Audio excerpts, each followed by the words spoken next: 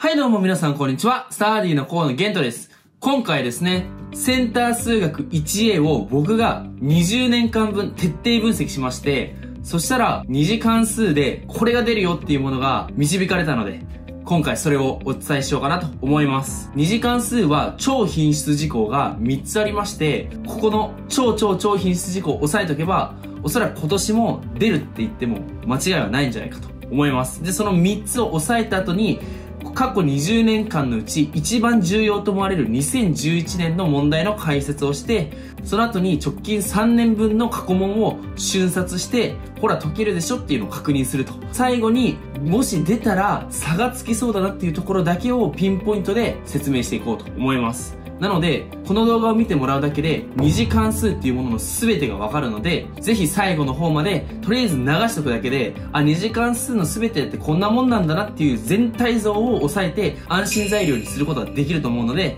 ぜひ最後まで見てもらえたらなと思います。もし、もう二次関数余裕だよっていう方がいたとしても、パターンを全部、全体像を知ることによって、その二次関数を解く時間っていうものをガッと縮めることができると思うので、そういった意味でも他の単元にも回すことができるようになるので、ぜひ、さーっとでいいので、最後まで見てもらえたらなと思います。というわけで、20年間分徹底検証した結果、二次関数で何が出るのか、お楽しみください。それではやっていきましょう。はい、それではやっていきましょう。センター試験20年分を徹底分析して、二次関数を爆速攻略していきましょうね。まず、三大品質事項。それが、最大最小値問題と解の配置問題と平行移動ですね。で、難易度が少し高めで、かつこの3つのエッセンスが詰まってる問題、2011年の本試験を解説していきます。で、三大品質事項を解説した後に、過去3年分を爆速解説して、ほら解けるでしょっていうところを認識してもらうと。で、その上で、今年、すごく出そうで、だけど出たら差がつくなっていうところの範囲について解説していこうと思います。じゃ、まず、三大品質事項に入る前に、ポイント、二次関数が与えられれば、この軸と頂点が必ずわかるということを、ちゃんと意識すると。その方法はわかりますね平方完成ですよ。だから、例えば、y イコール 3x2 乗プラス 6x プラス1とか、平方完成できますよね。で、自分で平方完成をするときの型をしっかりと押さえてほしいんですよ。どういう風にやってるかっていうと、まあ、いろんな方がいると思うんですよね。一回こういう風にくくってあげて、で、今度ここの中を平方完成してあげて、で、展開してあげて、こうまとめると。でもこれって長いっすよね。ここいらないっすよ、ここ。一気にいける。この考え方を説明していきます。まず、どう考えてもここの部分には3が来ますよね。ここと一緒だから。じゃあその場合どうなるかっていうと、ここの部分に何が来るかっていうことを考えたときに、ここ3来てるんで、くくってあげると、まあこれを頭の中でやるんですけど、2になりますよね。6x の部分は 2x に。要は、カッコの中身のここの2乗の部分を展開したら、x の項が2になればいいんですよ。だから、その半分ですよね。2×x× けなんとかってことは、その半分をしてあげればいい。だからプラス1っていうのがすぐわかると。だから、3を割って2で割ってっていうのをすぐしてあげる。で、その後に次何するかっていうと、定数項を後考えてあげればいいんですよ。で、定数項を考えると何が出てくるかっていうと、1の2乗かけ3の3が出てきちゃうので、余分に出てくるものを一旦引いてあげると。引く3。で、あとそのプラス1っていうので、最終的に持っていきたい数字にすると。だからこの引く3をすることによって、ここの部分は定数項がなくなる。3x2 乗プラス 6x になるから、最後プラス1をしてあげるっていうイメージですね。で、ここも含めて頭の中でやってあげるっていうのが重要なんですよね。で、そうすることによって頂点と軸がわかると。軸は x イコールマイナス1、頂点がマイナス1とマイナス2と。で、ここの軸が x イコールマイナス1っていうところは、これも公式として押さえてほしいんですね。x イコールマイナス 2a 分の b っていう形。これをもう覚えちゃうと、一気に計算が早くなると。これどういうもので覚えればいいかっていうと、解の公式なんですよ。解の公式って 2a 分のマイナス b プラスマイナスルート b2 乗マイナス 4ac ですよね。だから、その、プラスマイナスルート b に乗マイナス 4ac の部分をなくしたところ。の 2a 分のマイナス b の部分が軸になるんですよ。よろしいですかね？だから、これを押さえておけば大丈夫。だから今回で言うと、3x2 乗プラス 6x だったら、まず解の公式の最初の 2a 分のマイナス b の部分を考えると。2a が6分のマイナス b、マイナス6になってマイナス1というのがすぐわかるので、これを押さえておくと、ちょっと計算が早くなったりします。で、これでもう一つ、ここで押さえておいてほしいのが、これ、えー、二次関数が、二次関数が与えられればっていうのは、文字が入っていてもそうと。文字が入っていても全く同じようにするっていうのがすごく重要ですね。例えば、y イコール ax2 乗プラス 3ax プラス a2 乗とか。これもできますよね。まず、何が来るかって言ったら a でくくってあげる x プラスで、ここの部分を一旦 a で割ってあげると 3x が残りますね。3x。だから、まあ、その係数が3と。だから半分にしてあげればいいんですよ、ここ。っていうので、もうここの部分が終わり、じゃあ何が余分に出てくるかなって考えたら、2分の3の2乗の4分の 9a が余分に出てくるので、4分の 9a を引いてあげると。で、プラス a2 乗っていうのを最後に持ってきてあげれば、これで平方完成終了というわけですね。こんな感じですんなりやってあげると、一気に時間足りない方はできるようになると。で、これは、これは A だけだった場合なんですけど、B とか、複数文字が含まれている場合も一緒ですね。まあ、これを平方完成してあげると、y イコール a でくくってあげると、a 分の b っていう風になりますよね。ここの部分が a 分の b になるから、その半分をしてあげる。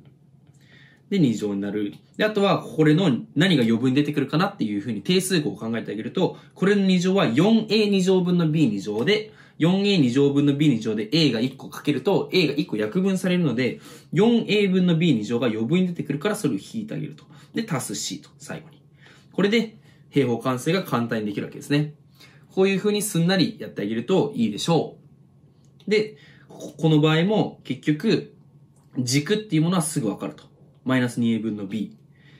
マイナス 2a 分の 3a になるから、マイナス2分の3っていうのがわかると。x イコールマイナス2分の3。な、ちゃんとなってますね。こんな感じですんなりできるわけですね。だから何はともあれ、軸と頂点は文字が入ってよう入ってなかろうが絶対に平方完成することによってわかる。で、軸の場合はマイナス 2a 分の b、この解の公式の最初の部分だけ抜き取ってあげればいいよっていうところを話しました。次。まず品質事項移っていくんですが、最大最小問題ですね。この最大最小問題はとにかく軸と範囲だけ押さえていきましょう。とにかく軸と範囲だけ。要は軸の座標をさえ分かれば、あとは範囲をこう当てていけばいいんですよね。範囲を。で、この時に2パターンあるわけですよ。今回は一旦2次の係数が正の場合だけ考えます。負の場合も同じようにやっていけばいいので、いいでしょう。で、2次の係数が正の場合っていうものを考えるんですけど、その時に、最大値を求める場合と最大値を求める場合でしっかりと分けてあげるというふうに考えてあげるわけですね。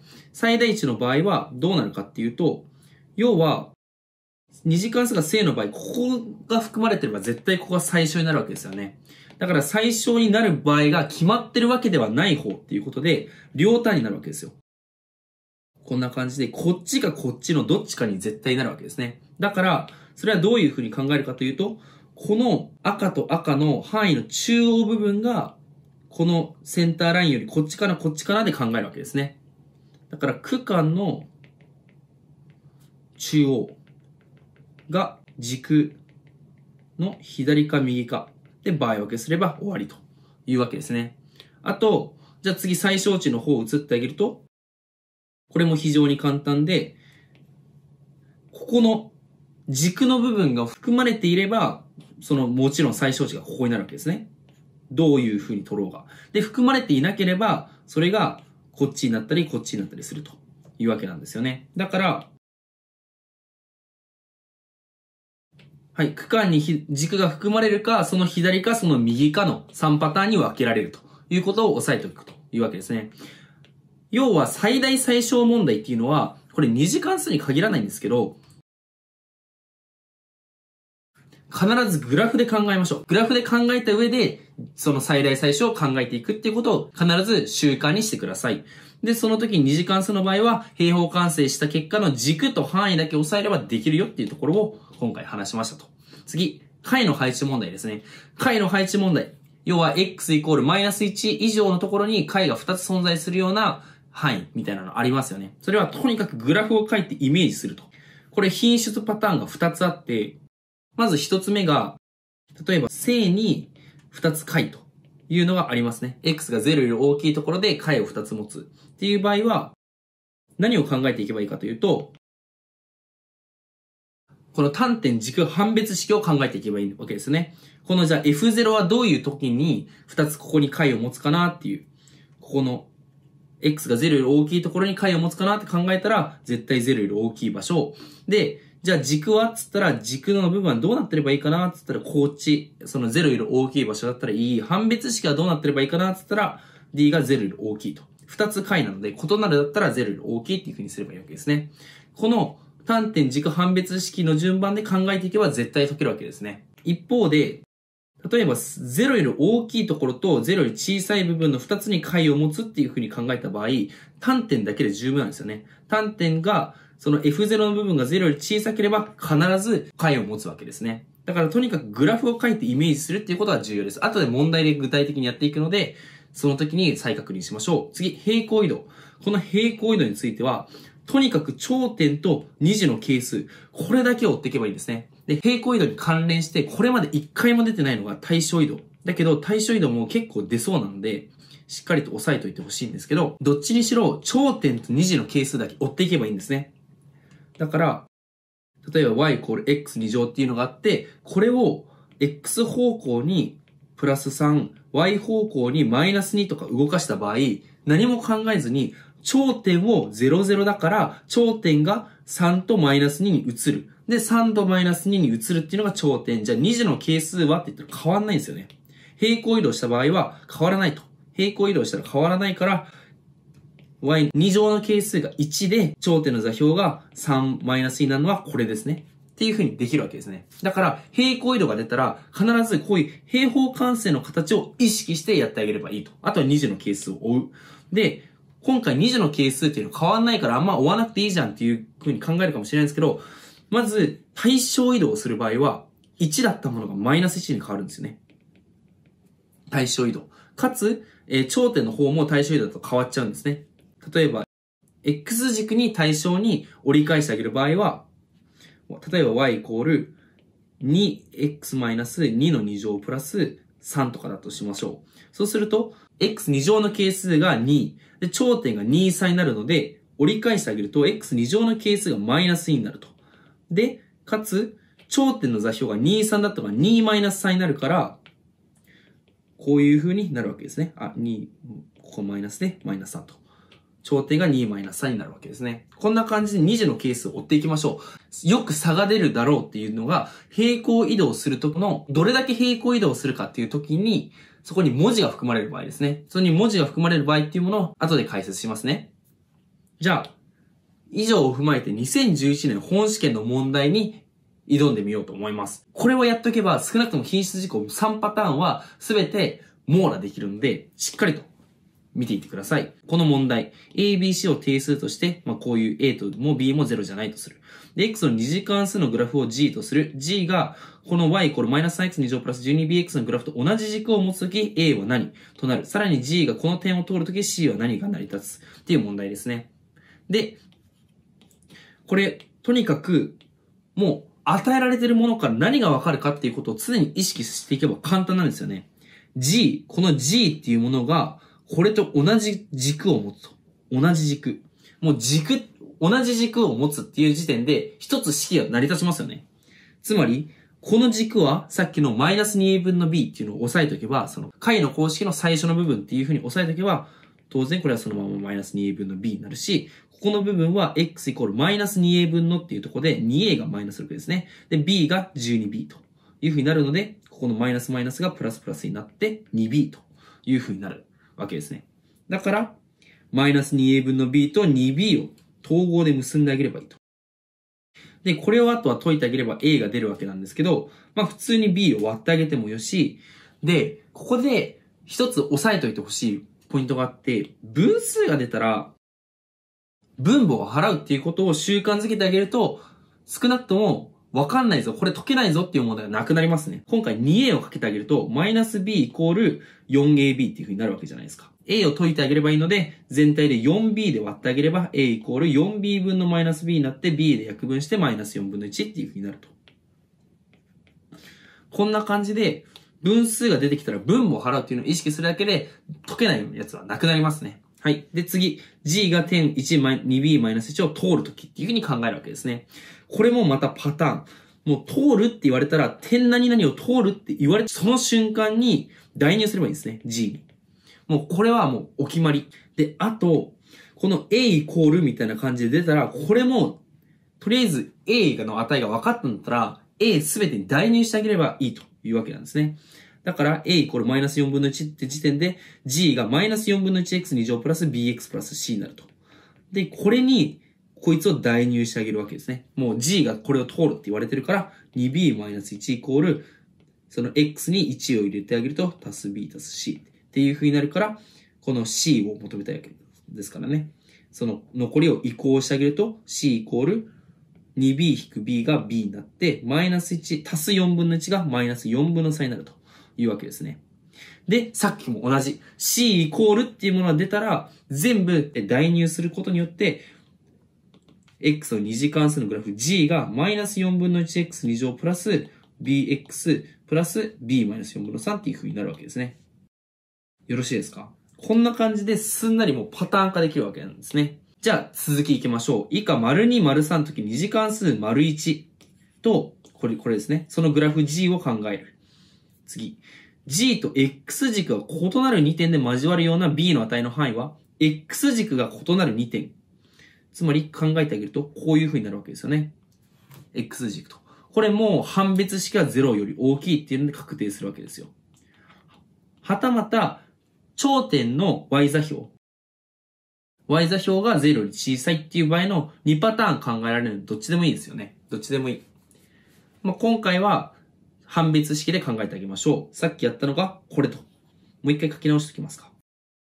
これを見てあげると、判別式の方を考えてあげる。これイコール0の判別式を考えてあげると、d イコール、あ、これ x 抜けましたね。bx。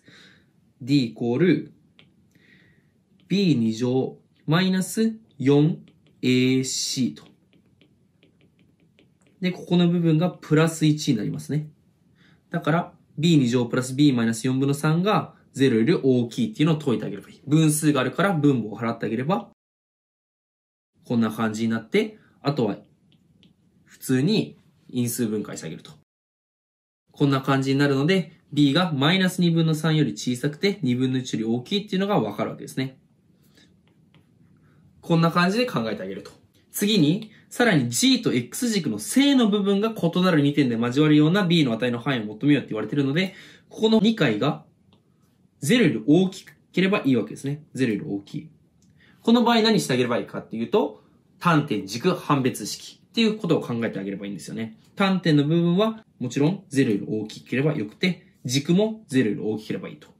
じゃあ単点は何っつったら、F0。単点 F0 はここに x イコール0を入れて b マイナス4分の3ですね。で、軸はって言われたら、マイナス 2a 分の b っていうことを考えてあげれば、はい、マイナス 2a っていうのが 2× マイナス4分の1で、マイナス2分の1分の b。で、このマイナス2分の1分の b ってなって、分数が分数の中入ってきた場合は、両方払ってあげればいいですよ。2かけてあげれば、マイナス1分の 2b になって、マイナスの分プラスになれば 2b になるというわけですね。よろしいですか？で、これを見てあげれば、あとは、こっちがどっちも0より大きい、0より大きいって言ったところで、あ、すいません。間違えてましたね。えっと、ここの x2 乗の係数がマイナスなので、これこうじゃなくて、こうでしたね。大丈夫ですか？だから、ここでちょっとまあ反面教師にしてほしいんですけど、x2 乗の係数に常に注意と。これ本番でやったら、あれっていう風になると思うので、x 人乗の係数に常に注意してあげるっていうことが大事ですね。はい。じゃあ、常に注意してあげましょう。そうすることによって、負になってる。今回マイナス4分の1が負、上に一つになってるので、軸が0より大きい、た、えー、F0 は単点は0より小さいですね、ここ。0より小さい。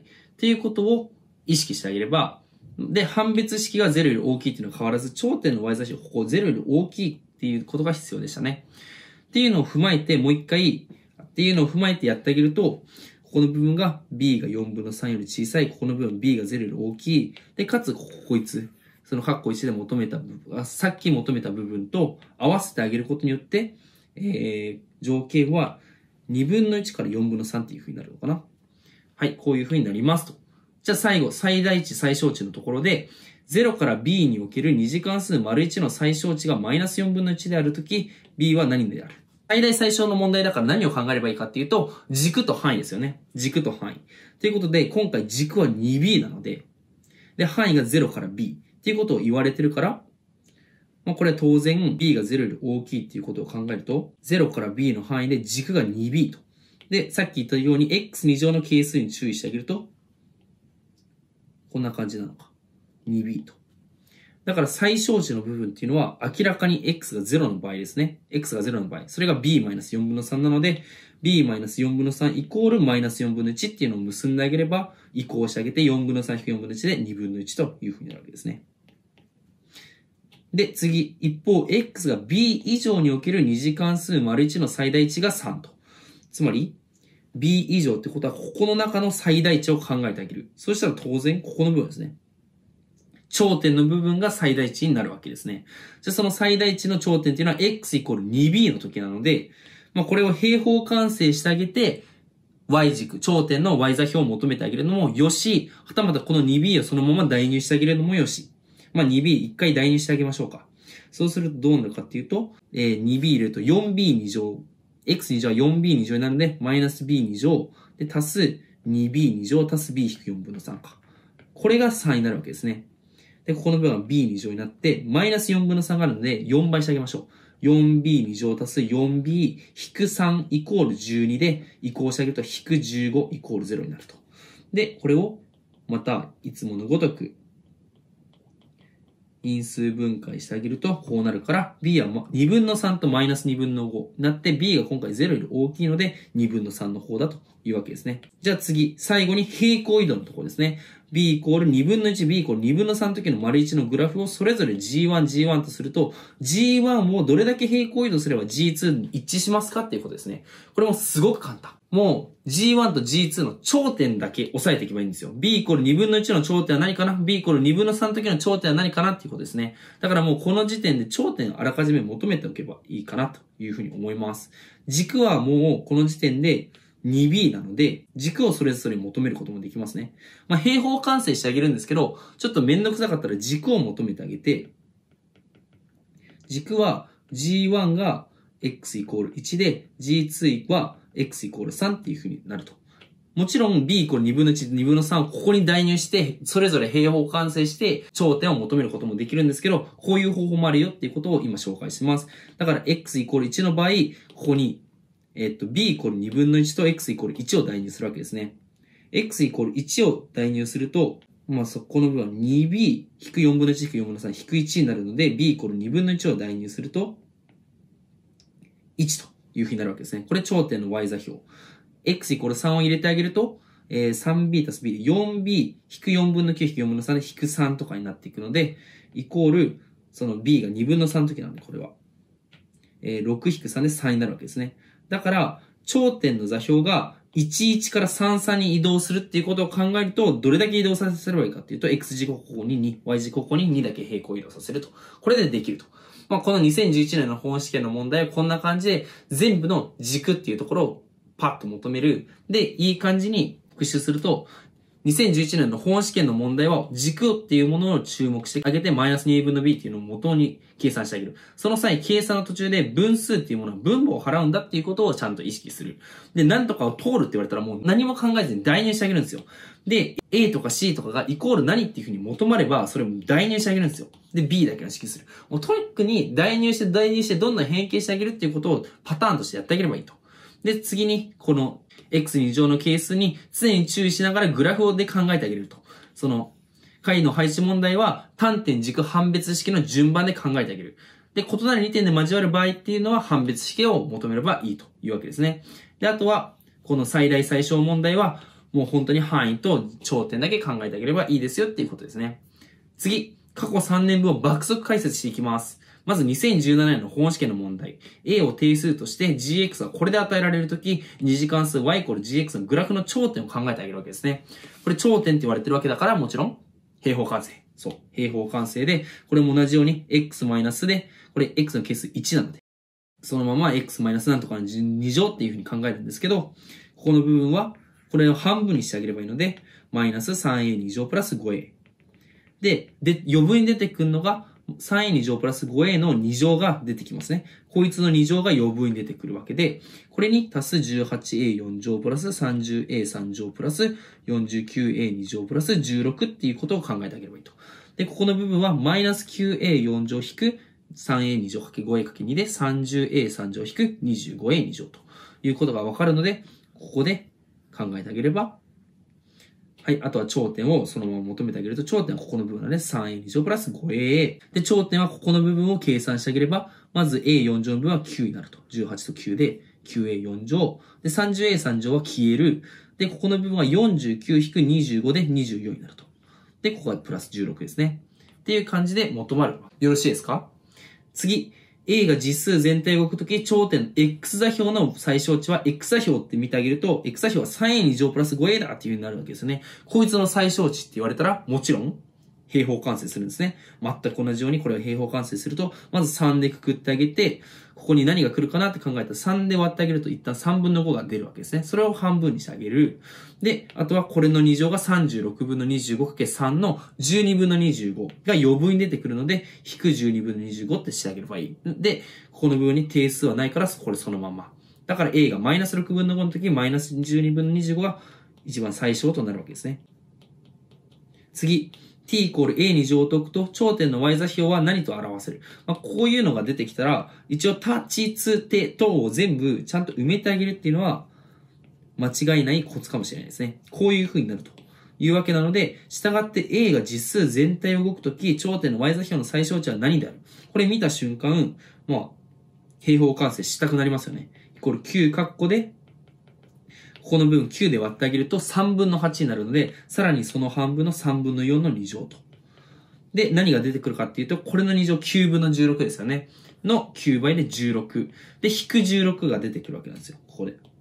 で、ここにプラス16がさらに出てくるから、ここの部分が消えて、平方完成するとこうなるというわけですね。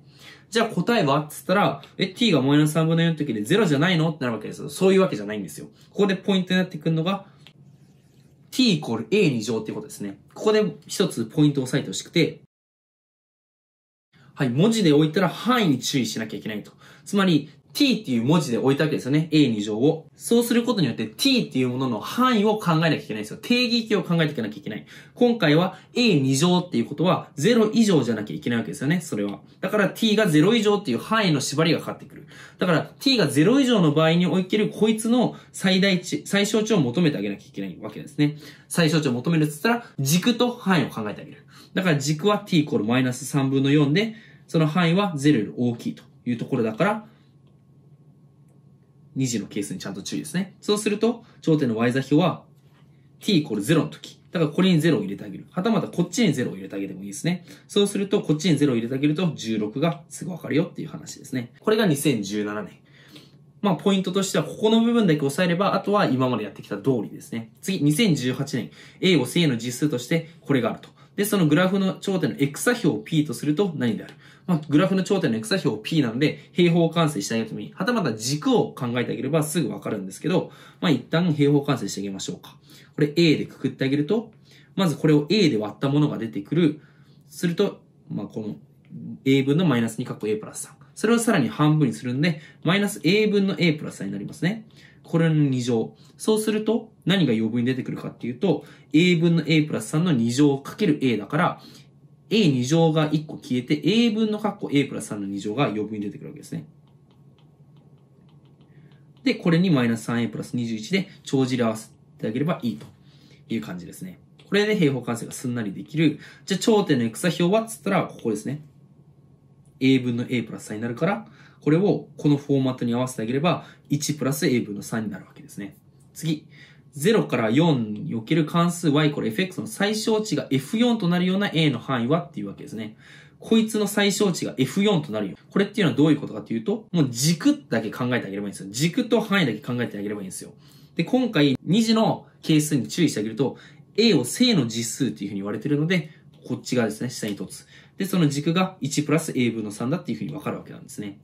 じゃあ、はい、軸が1プラス A 分の3の時、範囲が0から4と。0から4の時の最小値が F4。つまり、右端に最小値が来るような場合は、つって考えたら、最小値っていうのは、この可能性があるわけ。1プラス A 分の3の可能性があるわけですから、これに入らないようにしなきゃいけない。そうすると、入らないようにして、かつ、右端に最小値が来るっていうのは、左側にある場合ですね。この、端の4っていうのが1プラス A 分の3より左側にある場合を考えてあげればいいと。この位置関係にあればいい。だから、移行してあげて、まあ、ひっくり返してあげる。A 分の3が3以上、要は A 分の1が1以上、この場合はつったら A が0から1ですよね。まあ、この不等式をどういうふうに考えてあげるかっていう場合、いろんな考え方があるんですけど、分母を払ってあげると。そうすると、1が A より大きくなるから A が1以下っていうふうにできるわけですね。で、まあさっきの、その A を正の実数っていうことを踏まえてあげると、ここに入ってくるというわけですね。はたまた、グラフを考えてあげてもいいんですけど、今回は割愛します。次、また0以上4以下における関数 y これ fx の最小値が fp。最小値が fp っていうのはこの軸ってことですよね。最小値が fp っていうことは、この間に全部入ってくればいいんですよ。間に入ればいい。この04の範囲、間に1プラス a 分の3があればいいので、これを解いてあげればいい。これはすなわち、こっちで考えると a 分の3が0以上。これって a が0以上だったら絶対成り立ちますね。次、こっち側考えてあげると、a 分の3が3以下と。だから分母払ってあげると、3a が3以上。a かけてあげて、ひっくり返すだけですね。ということで、a が1以上っていうことがわかるわけなんですよ。こんな感じ。こうやってパパパッという風にできるわけですね。である。従って0以上4以下における関数 y イコール fx の最小値が1であるのは何になる？これもパターンなんですよ。0から4以上における y イコール fx の最小値が1。これっていうのは考え方があって、まあ、要は3つに場合分けできるわけですよね。その最小値のパターンが、ミニマムは F4 の場合、FP の場合、あと、左端に来る F0 の場合っていう3パターンが考えられるんですよ。で、今回よくあるのが、まあ、それが0から A が1以上の場合、これが A が1以上の場合、で、これはありえないわけですね。F0 になることはありえないわけですね。1プラス A 分の3ってやつが、絶対0より大きくなっちゃうので、これが来ないっていうことはこれよりわかるわけなんですけど、この2つの場合が考えられるわけですね。今回は。とにかく、複数の場合があって、これイコール1ってなれば、もう何も考えずに、F4 イコール1っていうのと FP イコール1っていうのを計算してあげればいいんですよ。F4、最小値が F4 か FP なんだったら、F4 イコール1っていうのと FP イコール1っていうのをそれぞれ出してあげて、A イコールなんとかと A イコールなんとかっていうのに出るわけですね。その時に、その F4 となるのは A がこの範囲だけだよっていうことになるから、それを後でこれで調整してあげればいいと。まあ、あとは計算だけなので、ちょっと割愛します。次、2019年。これ去年の問題ですね。去年の問題も全く同じようにできる。A、B は共に正の実数とする。で、こういう二次関数がある。頂点の座標はって言ったらこれもうすぐに平方完成できるわけですよ。x プラス2分のこれ半分になるわけですね、そのまま。で、何が出てくるかっていうと、マイナス4分の 2a-b の2乗が出てきちゃいますよね。足す a2 乗プラス1と。あとは、この頂頂点の座標っていうのはマイナス2分の 2a-b になるので、頂点はマイナス 2a 分の 2a-b になるから、これ、このフォーマットに合わせてあげると、2分の b-a になりますね。で、あと、この頂点の y 座標はここの部分をきれいにしてあげればいいから、ここの部分は、マイナス4分の 4a2 乗引く 4ab 足す b2 乗っていうのを見てあげれば、あとこれ分解してあげれば、マイナス a2 乗プラス ab 引く4分の b2 乗になるので、あとプラス a2 乗プラス1を考えてあげると、ここが消える。っていう風にすると、このフォーマットに合わせると、ここが4とここが1になるわけですね。マイナス4分の b2 乗足す ab 足す1になるわけですから。終わり。次、グラフ G が点マイナス16を通るとき。もう通るときって言ったら代入すればいいんですよ。簡単。はい、代入すると、6、イコール 1-2a-b 足す a 二乗プラス1っていう風になるわけですね。この時 b の取り得る値の最大値、b の最大値とその時の a の値っていう風にわかるので、b イコールっていう形にしてあげれば、b イコール、えマイナス a 二乗足す 2a 足す4っていう風になるのか。これでもう一瞬ですね。b の取り得る値の最大値はって言われたら、これを平方完成してあげて、これはもうするだけなので。だから、最大値は5で、その時の a の値は1っていう風にわかるわけなんですよ。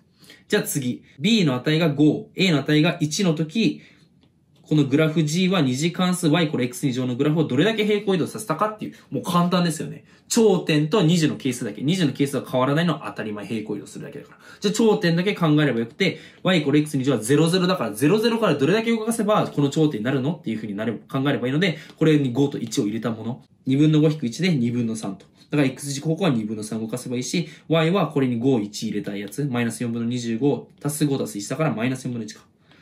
っていう風になるわけですね。こんな感じですんなり解けると。これで過去3年分パッと解いてきました。こんな感じでちゃんと解けるっていうこと確認できましたね。じゃあ最後に出たら差がつくぞっていう過去であんま出てないけどでも出たら結構嫌だなっていう問題を解説していきます。はい。3つありますね。まず1つ目。平行移動したら点〇〇を通るっていうことですね。平行移動した結果、点、例えば3、2を通るとか、いう場合っていうのも嫌なんですよ。これっていうのは、例えば平行移動する前の頂点の x 座標が3、4ってあったら、平行移動、例えば、じゃあ、同じ x 方向に何か、例えば、な、みたいな書いてあるんですね。y 方向にな、みたいな感じで書いてあるというわけなんですね。こういう問題、こういう、この X 方向と Y 方向に同じ値が入るとか、3倍の値が入るとかっていうのが、2001年と2010年の過去2回出てるんですよ、20年間の間で。とすると、今年そろそろ出そうですよね。で、出たらかなり差がつくと思うんですよ。かなり差がつく。だから、押さえておいてください。だから、元々の X 座標、元々の頂点が3、4だったら、例えばここの部分を t, t っていう風に文字で置いてあげることによって t プラス3、t プラス4っていう風になりますね。そうすると、あとは、それに基づいて、こうグラフの方程式が簡単に書けると。こんな感じで。頂点が t プラス3と t プラス4っていう風にやればこうなる。で、あとは、3、2を通るっていうのを、3、2を通るって言われたらもうちろん代入すればいい。